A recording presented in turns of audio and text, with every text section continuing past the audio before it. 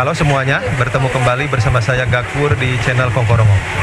Pada kesempatan ini saya akan meliput sekaligus mengajak Sobat Kongkorongo untuk melihat proses bersih-bersih atau melihat kondisi sekolah dasar negeri 106 Aji Tunggal Cijambe Kota Bandung yang mengalami kerusakan pasca terjadinya tanggul jebol atau tembok bagian belakang di SDN 106 ini yang jebol pada hari kemarin tepatnya hari Senin sore pukul 13 waktu Indonesia Barat.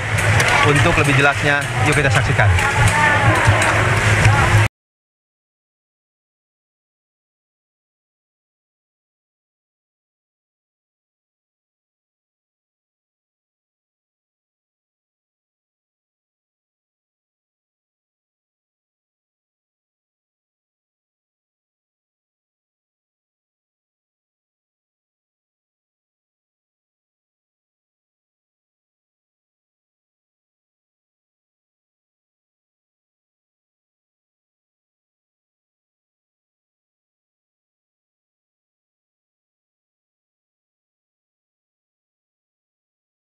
Saat ini saya akan ditemani oleh salah seorang guru yaitu Ibu Wiwin, guru kelas 3 di SDN 106 Aji Tunggal Cijambe ini.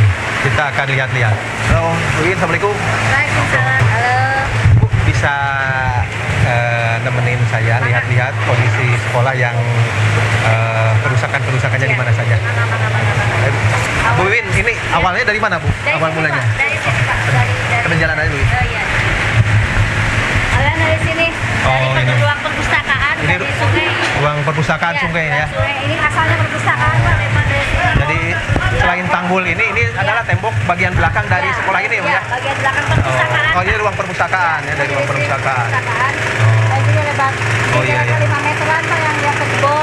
Jebolnya sekitar 5 meteran ya, Bu ya? 5 meter sini. Oh, Iya. ini kejadiannya pukul berapa, Bu? pukul 3 3 3 10 Oh, 3.10 kemarin pas ya. azan, pas Oh. azan pas azan asar Ada nasar ya? ya pas azan asar setelah anak-anak udah masuk ke kelas baru lima menit masuk ke kelas Eh, awalnya nggak terlalu eh, biasa aja kayak kirain hujan biasa Iya, aja iya, iya. setelah lima menit langsung tingginya sepuluh setengah Oh. nggak nggak sampai 10 menit Anak-anak lagi belajar, Bu? ya? lagi belajar langsung naik ke atas bangku langsung naik ke atas kursi Oh. jadi Oh. enam kelasnya terisi kecuali yang ini yang kosong Hmm. yang enam dia kebetulan saya ke- awalnya dari sini eh, ke kelas yang kemudian pindah ke sebelah sana karena ada sesuatu jadi Iya, pindah iya. ke sebelah sana ya lo saya pertama dievakuasi dari ruang sana Oh, ini, oh, masih perpustakaan, Bu ya? masih perpustakaan sebelah sini Oh. nah ini masuk ke sini Iya, iya. nah ini karena kemarin itu sampai sampai ke sini sampai sampai ke leher sini Oh. karena nggak tahan ini di, eh, Oh, dijebol airnya sama- setinggi leher ya? setinggi leher di sini Oh, berarti kalau anak-anak ini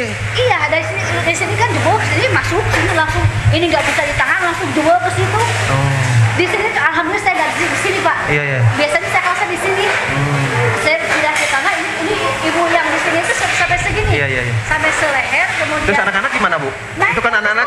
Oh, naik ke atas bangku. Naik ke atas bangku jebol langsung si ibunya naik naikin naikin bang, eh, apa anak-anaknya di, di, di Digendong di ya? atas, Oh, dengan cara digendong? Iya. Oh. Dievakuasi ke lantai dua. Ke ruangan yang di ini yang di atas. Tinggi sebelah Oh, sini. iya, iya. Nah, kemudian karena udah takut saking takutnya, gak ada dijebol ini pintunya dijebol langsung naik ke atas. Si Sambil ibunya- jalan aja, Bu. Iya. Ini kondisinya awalnya di sini.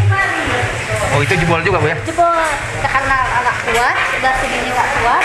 Eh, kemudian eh, awal jebol sini takut, Iya, iya. jebol sini lagi wah udah Oh. Ini kalau ini jebol atau emang dijebol? jebol. Oh, jebol ya? air. Oh, udah jebol sama dari air ya? Ini dari air Oh. kan ini segini pak. Dikira buat buat evakuasi dijebol enggak ya? Enggak.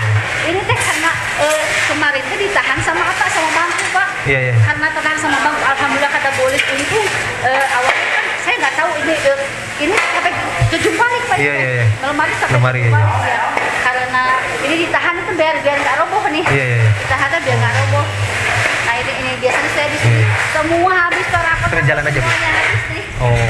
Rapot-rapot habis ya buku-buku ya? Habis, saya Tadi bilang rapot Oh, Pak. iya.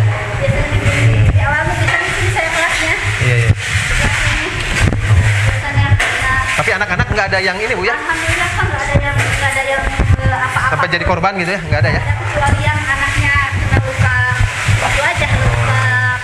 aja. Kalau gua kaca aja ya? Ya kalau yang di sini jebolnya karena ini, eh, ini kan ibu pak, Iya, iya. nggak bisa nggak bisa kebuka ini teh pintu, Hmm. nggak bisa keluar kemudian jebol dari sini dari jendela. Oh jebol dari sana bu ya? Jebol dari Di jendela. sebelah sana, ke sana. Nih jebol dari sini nih.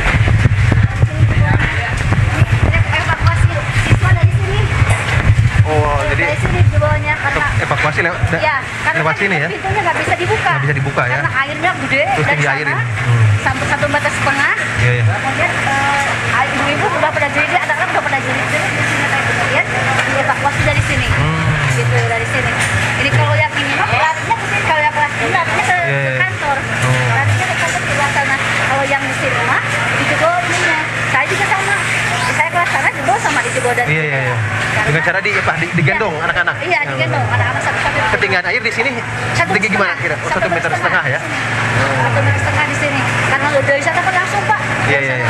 Semua angkung yang ada di sini semuanya langsung lar- eh, itu apa hanyut Oh, iya, semuanya. iya. Ini piala yang di sini semuanya hanyut semua. Iya. Ini Sambil kalau- jalan lagi bu ya. Kalau yang di sini dievakuasinya langsung lewat belakang bu ya? Ya, ini ada kaca pak. Oh. Enggak yang di ruangan ini bu? Oh yang iya ke sana pak ke kantor. Ke kantor, Ya. yang belakang.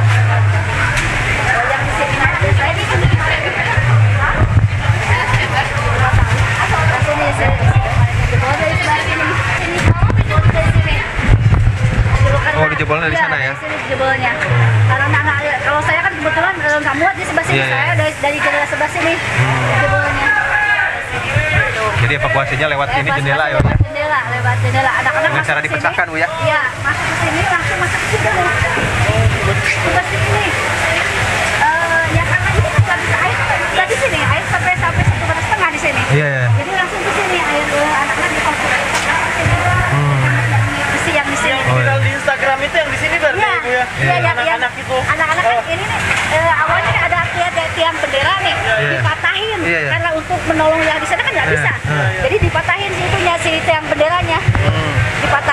Langsung dievakuasi dari kelas sana. Oh iya. iya. Eh, de- kalau tadi yang ini mah yang paling rendah ya, kalau ini mah lumayan agak agak tinggi kalau sebelah sana. Iya iya. iya. Tapi tetap aja satu meter eh, sampai sampai meja. Oh, iya. Sampai meja ininya. Totalnya Eh, berapa siswa kira-kira? Aduh sedikit eh, berapa ya? Kalau nggak sampai seri- Ada 500? eh, kalau semuanya itu 1200 kalau Enggak pas hari kemarin, yang hari kemarin Oh. yang masuk sore, Iya, iya, sore. ya setengahnya kali. Oh, sekitar. ada 500-an ya? Iya, ada. 500 siswa. Ada 500-an. Itu kelas berapa bu? Dari Kebetulan Iya. yang pagi itu bagian kelas 6 sama kelas 1 dan kelas 2. Hmm. Ya, jadi anak-anak kecil mah alhamdulillah eh, tidak ini. Cuman yang anak-anak yang di sini yang wah, Iya, iya. jerit-jerit dari sini teh. Oh. Alhamdulillah semuanya aman dievakuasi dari Jalan sini. lagi Bu, sebelah sini. Kemarin itu di sini ya Bu, evakuasi itu ya? Iya, dari sini, dari sini ke sini Pak. Dari yang dievakuasi dari sini yang Oh, yang, yang ya, anak-anak yang di di- digotong-gotong Iya, iya. sini ke sini.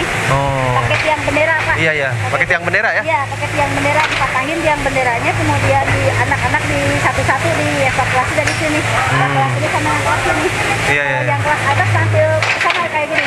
Dari kelas atas ke sini, lewat ke sini karena kan itu juga nggak bisa ini. Iya, iya. Jadi dari sini, dari atas ke sini, kemudian ke sini, langsung ke sini. Oh. Ke, ke sebelah, eh, ke, ke, ke atas sana, Iya, iya. keluar, ke arah keluar. Baru itu selesai kira-kira jam berapa itu Bu? Eh, Anak-anak selesai bisa jam diselamatkan? Jam 5. Oh, jam 5 ya? Udah menaruh ini ya. Saya pulang jam 5, semuanya udah eh, selamat. Alhamdulillah. Oh. Eh, ya kalau eh, motor terendam itu udah eh, resiko. Iya, semua. yang penting yang penting Iya. anak-anak yang, penting yang anak-anak diutamakan ya Bu ya, selamat. diselamat Iya, yang diselamatkan ya. anak-anak Tidak ada. Oh. Ke- kebetulan yang kelas 3 itu yang paling parah itu kelas 3. Kelas 3B yang paling parah. Oh, kelas 3B ya. Kelas 3B yang paling parah Karena memang apa? jebolnya dari sana. jebol, Iya, iya, dari, iya. dari sungai yang sebelah sana. Dan su- Belakang perpus ya? Iya. Iya, yang di belakang Dan perpus yang memang sebelah sana. susah untuk mengevakuasinya ya. Betul, Jalur karena evakuasinya airnya susah. eh, nggak bisa keluar pak Iya, keluar. kan itu pintunya nggak bisa eh, apa eh, jebol bisa Iya, iya, jebol. iya. kemudian didorong sama anak alhamdulillah langsung ibunya langsung digendong satu-satu dua puluh dua puluh dua siswa Oh, iya, pak iya. digendong sama ibu ibu, Iya. ibu kelas 3 B ibu Elis namanya Oh. Di, gedung ke atas Iya. ya alhamdulillah semuanya Iya. selamat Nah, sekarang kan ini hari ini lagi proses bersih-bersih Iya. sama apa penanganan dari berbagai unsur yang ada Iya. di Kota Bandung ini. Jadi eh, untuk anak-anak sendiri diliburkan Bu ya Iya, sekolahnya. diliburkan untuk sementara Berapa hari? Rencana? kalau tadi eh, ke, ibu kepala sekolah bilang baru dua hari kalau, kalau belum memungkinkan ya bisa jadi Bisa ditambah lagi. Eh, karena ini kan takut ini jebol apa tanggulnya kan belum di, Iya, iya, iya. belum dipasang eh, belum Iya. dibangun pak Bangun, iya. takut takutnya Khawatirnya turun hujan lagi, ini dua lagi ya. iya. Meluap lagi air. dikhawatirkan ini lumayan pak dikhawatirkan Anak-anak dipastikan karena peristiwa ini kan memang mendadak terus Iya. cukup besar ya gitu.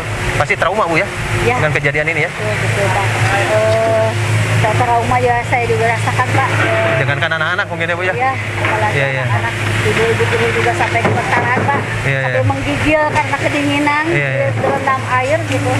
Eh, lumayan pak, saya juga shock banget. Oke Bu Win, Ya. terima kasih atas Sama-sama. informasinya dan Sama-sama. ngajak saya keliling-keliling. Sama-sama. Ya, saya mudah-mudahan peristiwanya tidak terulang kembali. Amin, mudah-mudahan iya. ada hikmah dari bagi nih. Iya. Semua semuanya bisa dibangun pak, dibangun kembali. Dibangun kembali ya, Nah, mudah-mudahan itu, Ya, hikmahnya. Iya. yang saya tunggu Iya. dari dari pihak sekolah. Iya, siap. Iya,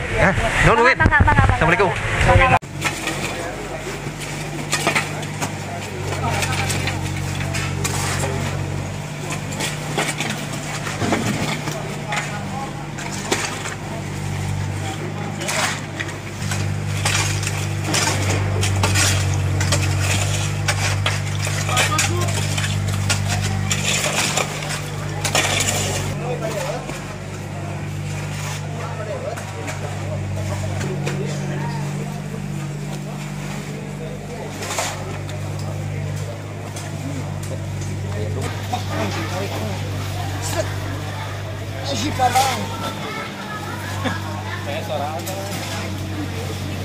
bangga, bangga. makanya air sudah cukup rumah cukup perumahan yang ada di sekitar ini kena Iya, namanya teh Cisalobak, Pak. Cisalobak. Cisalobak, anak Cijalubang. Ya, Cijalubang. Cipanjaluk.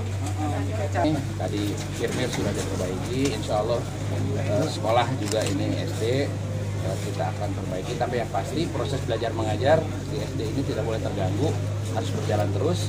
Eh, teknisnya apakah ini dititipkan di eh, sekolah-sekolah sekitar? Tapi itu tuh dinas pendidikan nanti akan masuk. tapi prinsipnya dulu adalah eh, warga terdampak tidak boleh eh, eh, tidak boleh harus segera kita bantu dan pulihkan. Kemudian tadi proses belajar mengajar siswa di SD ini harus berjalan terus lancar. Oke, Sobat Kongkorongok, demikian tadi kita sudah melihat kondisi dari sekolah SDN 106 Haji Tunggal Cijambe yang pasca diterjang banjir akibat jebolnya tanggul di Sungai Cicalobak. Semoga bermanfaat. Jangan lupa like, subscribe, dan share. Wassalam.